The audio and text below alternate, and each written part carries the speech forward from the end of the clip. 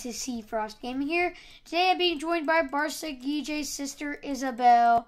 Um, episode 2 of the Ma Magic Kingdom series. And today we're going to do the Astro Orbiter. A lot of you guys have either rode it, have been to Disney World, or you guys have seen it.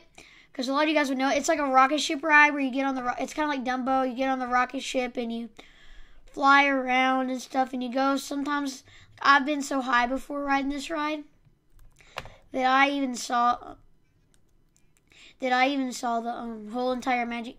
Well, I saw like all the way down. And I saw like Fantasyland and loads of areas of Magic Kingdom, and it's really cool because I mean it's like Dumbo, but it's really high up. So you so like it like feels like it's like an actual. It feels like intense. But Isabel, you ready to ride the ride? Okay, now I'm gonna be up front. Let me be up front. No. Oh, sorry. I'm up front. I'm up front. Let me be up front. Okay. So now we're just gonna wait for the ride to start up. Please buckle your seatbelts and please and please hold on. Please keep your hands, arms, feet, and legs inside the vehicle at all times and enjoy the ride. And so you can kind of see around. But it goes by so short on this than it actually is. It's like usually like the size of actual Dumbo, but on this it goes so short.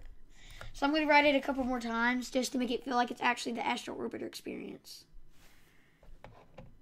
Hey dude, it's your lucky day. You're on my YouTube channel. Shrelix.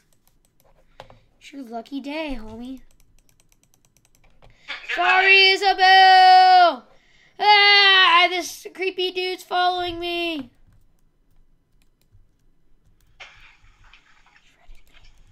Let me write it again. Let's go, Isabel. Are you ready?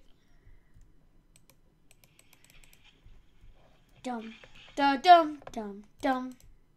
Here we go. Whoop, whoop, whoop, whoop, whoop, whoop. But yeah, guys, that's episode two of the Build Battle series. I hope you guys enjoyed and I mean not the Build Battle series, the Magic Kingdom Disney World series. I am so sorry for saying Build Battle. That's I don't know where I got that from. But yeah, guys, we'll see you guys later. Bye.